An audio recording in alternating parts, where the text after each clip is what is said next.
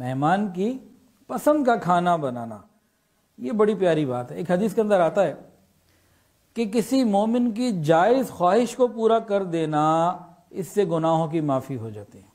कि जिसने किसी मोमिन की जायज़ ख्वाहिश को पूरा किया, अल्लाह ताला ख्वाहिश को पूरा करने वाले की मगफिरत कर देते हैं। अब उलमा क्या करते हैं? बहुत सारे उलमा और जो दीन को समझ रखने वाले लोग होते हैं, वो फिर बेतकल्लुफ़ होके पूछ लेते हैं मेहमान से, भाई, आपको क्या पसंद है? आप अपनी पसंद बता दीजिए। वो अपनी पसंद बता देता है तो वो अपनी जायज़ पसंद बताता है, ये उसकी जायज़ ख्वाहिश पूरी करते हैं, इधर गुनाहों की माफ़ी। तो मेज़बान अगर पता करवाए, हमसे कभी मेज़बान को पूछे, या हम किसी मेहमान से पूछे, जब हम मेज़बान हो, जब मेज़बान मेहमान से पूछे कि आप आ चुके हैं और आपको कुछ खिलाएँ, या दो चार दिन पहले पूछ रहे हैं भाई, आपने उस दिन आने आपको क्या खिलाएँ?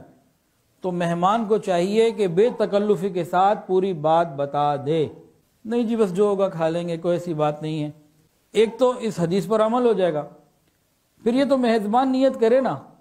अच्छा मेहमान भी इस हदीस को सामने रखते हुए एक और नुकता ले सकता है। बड़ा मज़ेदार। वो क्या?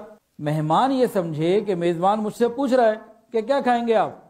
तो ये मेरी जायज़ ख्वाहिश को पूरा करेगा, इसकी मगफिरत हो जाएगी। तो उस जायज़ ख्वाहिश को पूरा करवाने का सबब तो मैं बन रहा हूँ ना तो मेरी भी हो जाएगी। इसको कैसे पता लगेगा मेरी ख्वाहिश क्या? बताऊँगा तो पता लगेगा ना।